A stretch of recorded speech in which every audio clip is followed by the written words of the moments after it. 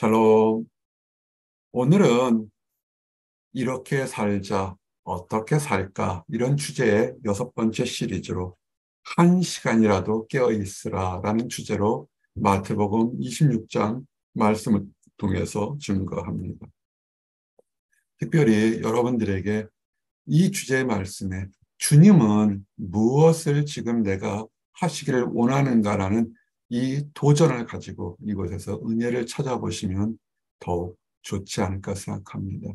그래서 주를 버리지 않겠다고 믿음의 고백을 한 사람들이 그 고백과 그들의 삶이 어떻게 일치됐는지, 불일치되었는지, 그리고 믿음의 삶대로, 고백대로, 겉과 속이 똑같은 우리 주님 예수님의 기도는 본인의 뜻이 아닌 아버지의 원대로 하기를 원했던 그 기도의 모습을 우리가 도전받기 원합니다. 그리고 보라 때가 가까이 왔습니다. 이것은 주님의 주님이 말씀하신 것도 있지만 지금 우리에게 우리가 지금 살고 있는 때가 어느 때인지를 돌아보기를 원합니다. 주님께서 6월절 만찬을 마치고 가룟 유다는 예수님을 팔기 위해서 나갔을 때 그때 우리가 지난 사랑방의 얘기처럼 축복된 복음이 선포되었죠. 무엇이었습니까?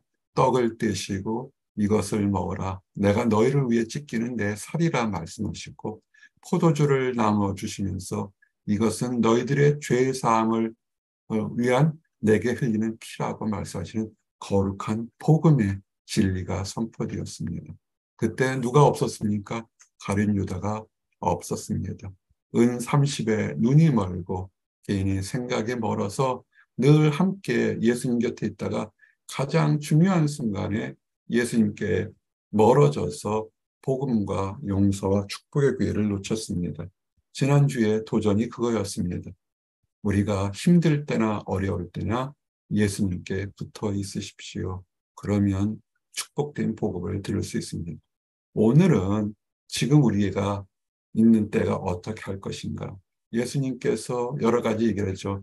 오늘 너희들이 나를 버리리라.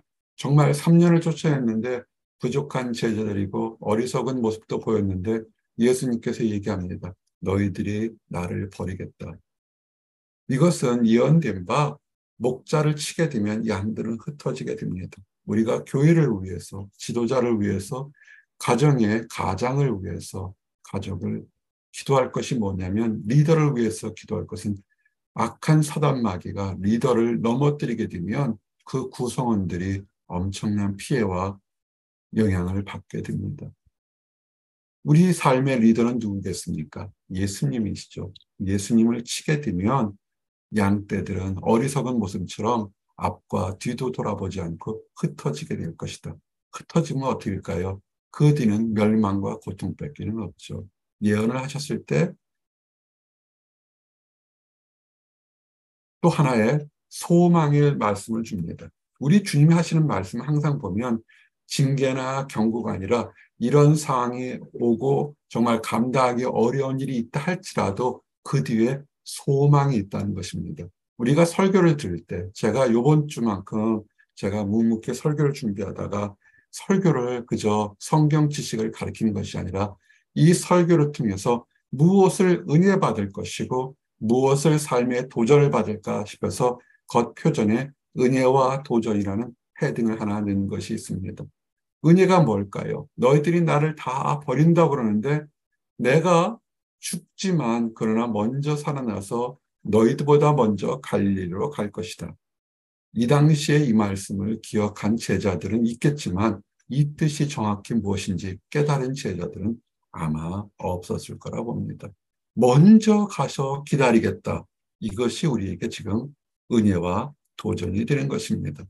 그러자 제자들이 다들 아닙니다. 나는 주님을 버리지 않겠습니다. 참 열심히 했죠. 3년 동안 그들은 가정을 내려놓고 재물도 내려놓고 명예도 내려놓고 예수님을 따랐는데 갑자기 큰 명절 잔치 다 지나고 난 다음에 주님을 버리겠다는 그런 책망들이니까 제자들이 놀랐겠죠. 베드로가 그 중에서 베드로가 더 큰 목소리로 얘기합니다. 다른 사람들은 다 주를 버려도 나는 결코 버리지 않겠습니다. 참 대단한 결심인 거고 참 헌신이다. 이런 제자들 좀 많이 나왔으면 좋겠어요. 다들 이득을 위해서 필요를 위해서 떠나가더라도 교회를 위해서 하나님의 사역을 해서 함께 있겠습니다. 얼마나 그 리더가 그 목회자가 정말 어, 든든하겠습니까? 그럴 때 예수님께서 그 뜻을 모르는 것이 아닌데 이렇게 얘기했죠. 그런데 내가 오늘 세 번 부인할 것이다. 그것도 닭이 울기 전에 동트기 전에 세 번 나를 부인해라 예언하셨죠. 베드로가 한 단계 더 나가면서 그의 믿음의 순수성과 열정을 증거합니다. 내가 주님과 함께 죽을지언정 결코 주님을 배신하지 않겠습니다. 크게 두 가지죠. 부인하지 않겠다. 주님과 함께 죽겠다. 참 대단한 것이고 그런 믿음의 고백이 다른 제자들도 그와 같이 합니다. 엄청난 고백이에요. 이런 고백을 일평생 동안 몇 번이나 해보겠습니까?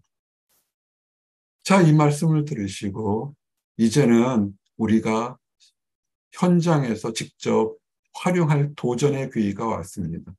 이 말씀을 듣고서 예수님께서 제자들을 데리고 겟사메나 하는 곳에 갔습니다. 이전에도 갔었던 곳이고 기도하러 갔던 그런 곳입니다. 부탁을 하죠. 내가 조기쯤 가서 기도할 동안에 너희는 여기 앉아 있으라 얘기를 합니다. 내가 기도할 동안 너희들 또 해야 할 일이 있다 얘기를 하는 것입니다. 우리 주님이 활동하시고 사역하신 동안에 우리 성도들도 해야 할 일이 있습니다. 지금 우리 주님께서 하늘나라에서 우리를 위해 처소를 준비하시고 보혜사의 역할을 하시는 동안에도 우리는 이 땅에 있으면서 해야 할 일들이 있다는 것을 아셔야 됩니다. 그러면서 그 중에서도 나는 주를 버리지 않겠다고 고백했던 베드로와 세베드의 두 아들을 데리고 사랑하는 이너 서클에 있는 세 명의 제자를 데리고 갔습니다. 그러면서 얘기하죠. 내가 고민이 되고 마음이 힘들다. 우리가 이전에 설교에 그런 적이 있습니다. 정말로 마음이 서로 합하면 힘들고 어려운 것을 나누게 될 거라고. 근데 보통 현대 교회와 많은 교제들이 피상적인 것, 내가 잘난 것, 칭찬과 인정받을 것만 얘기하고 속 얘기들은 다 하지 않죠. 그래서 우리가 진정한 교제는 다른 사람이 인정과 칭찬받을 것만 아니라 안타깝게 여길고 힘들어하는 것들도 같이 나눠야 됩니다. 근데 왜 못 나눌까요? 그것을 받을 사람이 같은 심퍼스를 가지고 고민하는 것이 아니라 약점을 잡는 것처럼 험담하거나 그 마음으로 기도하지 않으니까 사람들이 알고 나누질 않죠. 근데 우리가 도전드린 게 하나 있습니다. 예수님께서 그러면 꼭 필요한 것만 나눴을까? 그러지 않았습니다. 받는 사람이 어쨌든 간에 그는 하나님의 이름으로 하나님 안에서 내가 죽게 되었다. 내가 너무 힘들다. 그러면서 나와 함께 깨어 있으라. 우리가 상담하고 교제할 때 그 사람이 나와 같은 마음이 되는 전제 조건이 될 때 우리는 상담을 하고 또는 기도 제목이나 sharing 교제를 합니다. 근데 주님은 그렇게 하지 않으셨어요. 하나님 안에서 내가 매우 고민돼서 죽게 되었으니 정말 부끄럽고 어렵고 있는 모습을 그대로 다 내 보여줍니다. 그러면서 하는 것이 잠깐 깨어서 나를 위해 함께 기도할 수 없겠니? 라고 얘기를 합니다. 참 많은 도전되는 얘기입니다. 그래서 땅에 대고 기도합니다. 내 아버지여 만일 할만하시거든 이 잔을 내게서 지나가게 없어서 그러나 나의 원대로 마시옵고 아버지의 원대로 하시옵소서라고 기도합니다. 교회를 조금 다니거나 예수님의 이 하신 일을 좀 아신 사람은 아 예수님이 십자가를 지는 것, 그 고통을 힘들어서 그 십자가를 지지 않고 피할 수 있는 방법이 없습니까? 라고 기도한 것 같습니다. 그러면서도 순종하는 아버지 뜻대로 하기를 원합니다. 라고 기도한 것 같습니다. 그러나 조금 더 묵상이 길어지면 아마 이렇게 예수님의 기도를 이해할 수 있습니다. 지금 내가 내 이 안에서 내가 고민되고 죽게 된 것까지 다 부족한 제자들 앞에 다 기도했는데 내려놓고 했는데 저 제자들이 앞으로 믿지 않는 세상과 위협 속에서 고통받고 그 중에서 믿는다고 하면서도 또 배신하는 그 수많은 사람들의 그 모습 속에서도 그 연약함을 연약함이 있지만 또 소망을 가지고 같이 함께 보담해 줘야 될 것들 그리고 수많은 죄인들 예수 그리스도를 알지 못해서 모욕하고 배반한 사람들까지 그들의 죄까지를 다 포용해 주는 우리 예수님의 그 사랑의 절절한 모습이 있을 때 이 기도가 얼마나 크고 깊은지를 알 수가 있습니다. 간절히 기도해서 잠시 동안 돌아왔는데 보니까 제자들이 잡니다. 조금 전까지 주님이 주님이 죽으시면 나도 죽겠나이다. 그리고 주를 배반하지 않겠던 제자들 그 중에 베드로에게 얘기하죠. 한시라도 깨어 있을 수 없느냐. 내가 지금 너희들과 3년 동안 다니면서 한 번도 내 마음이 이렇게 죽도록 힘들다 그랬을 적이 없었는데 하신 적이 없으셨죠. 그런데 정말로 내가 힘들다고 할 때 정말 그 힘들다고 하는 것을 힘들다고 받아들이지 못하겠느냐는 것입니다. 우리가 교제할 때 힘들어요 그러면 나오는 대답이 대부분이 뭐가 힘들어? 너보다 더 많은 힘든 사람이 있는데 그것 가지고 그래 라고 얘기합니다. 그거는 올바른 대화법은 아닌 것 같습니다. 어떤 사람에게는 에베레스트 산이 가슴에 눌려도 힘들 그냥 아 그냥 힘든가 보다 할 수 있겠지만 어떤 사람에게는 떨어진 낙엽이 가슴에 떨어져도 정말 지구가 무너지는 것처럼 힘들게 느껴질 수 있는 것입니다. 힘들다 그러면 힘든 거겠죠.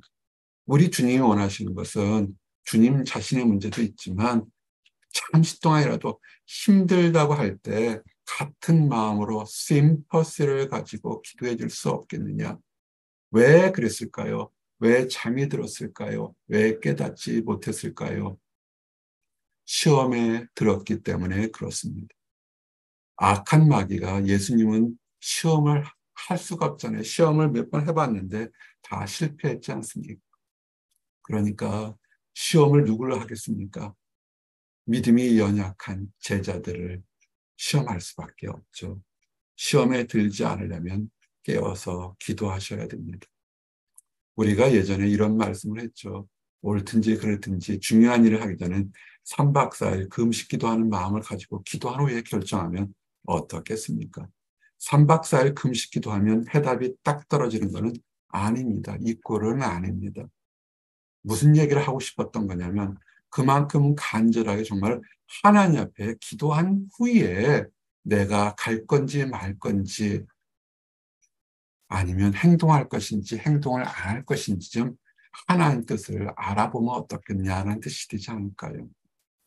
지금 주님께서 내가 죽게 되었으니 함께 기도해 줄 수 없겠냐 그럴 때 기도를 하지 않으니까 영적으로 시험이 들어서 무슨 일이 일어나는지를 알지 못하는 것입니다. 인류상 최 가장 중요한 순간이었는데 육신이 약하다.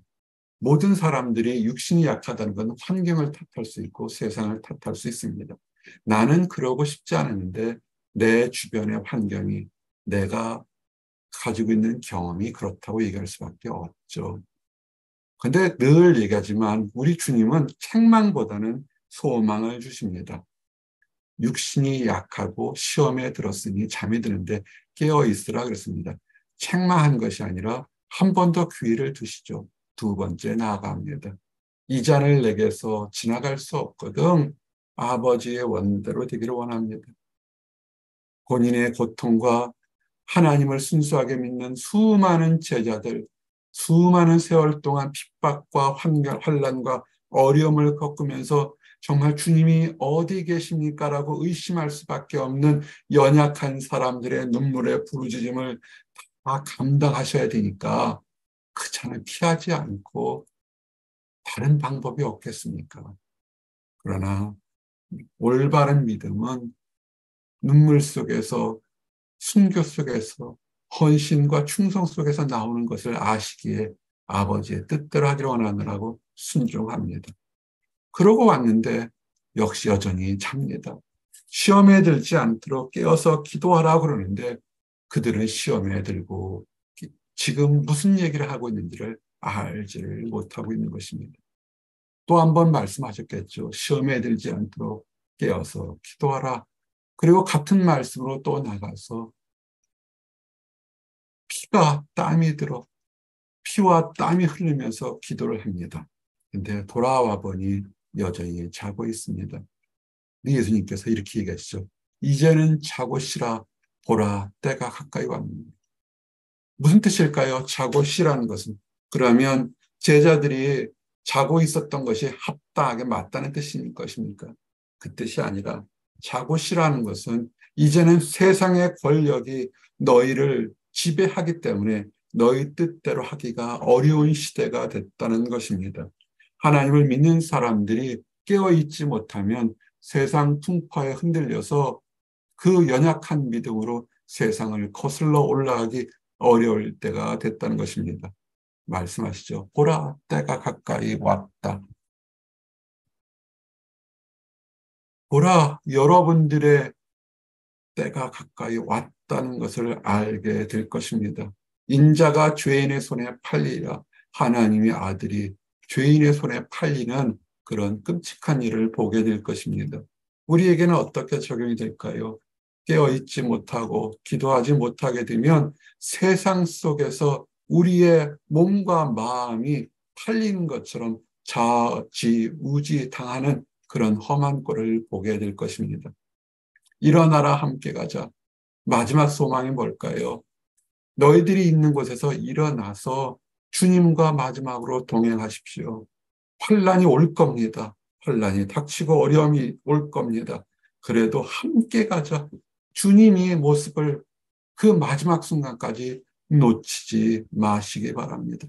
여러분에게 지금 힘들고 어려운 날이 올 겁니다. 보시기, 보십시오. 반드시 오게 될 겁니다. 마지막 소망이 뭘까요? 우리는 놓쳤습니다. 우리는 주님의 준비하심을 놓친 것이 참 많습니다. 그리고 예비된 것은 반드시 찾아오게 됩니다. 어려움과 시험과 환란이 다가오게 될 것입니다. 우리가 할 수 있는 것은 늦었지만 일어나서 주님과 함께 가는 길을 택하시기를 원합니다. 시험에 들지 않도록 깨어 기도해서 우리가 무엇이 앞으로 닥칠 것인지를 깨어 기도하고 혹시라도 늦었더라면 포기하지 마시고 일어나셔서 세상에 속이는 곳에서 일어나셔서 주님과 함께 갈 수 있도록 길을 선택하시기를 바랍니다. 기도하시겠습니다. 많은 사람들은 이야기를 합니다. 나는 주를 버리지 않겠습니다. 믿음 안에 살겠습니다. 하나님의 뜻대로 살겠습니다. 하지만 기도하지 않습니다. 하나님의 뜻이 무엇인지 알지 못합니다. 세상의 유혹에, 세상의 위협에 물들어서 무엇을 하는 것이 옳은 것인지를 너무 늦게 깨닫습니다. 너무 늦게 깨닫는 사람들을 위해서 지금도 십자가에서 피를 흘리시면서 이제 내게로 오라는 주님의 말씀을 듣기를 원합니다. 십자가에 부활하시고 우리를 위해서 거룩한 피를 흘리셨던 주님의 사랑을 깨달아서 세상으로 달려가는 것이 아니라 돌아서서 일어서서 주님께 나가는 우리 모든 사람들이 되도록 허락하시고 인도하여 주시옵소서. 특별히 우리의 가족들, 우리가 사랑하는 사람들, 이웃들에게 하나님의 크신 뜻을 전해서 세상에 취해서 살지 않게 하시고 하나님의 뜻을 분별히 깨달아서 참 복된 생명의 길로 일어나서 걸어가도록 함께 축복해 주시옵소서. 늘 감사드리며 예수 그리스도님 받들어 기도드렸습니다. 아멘.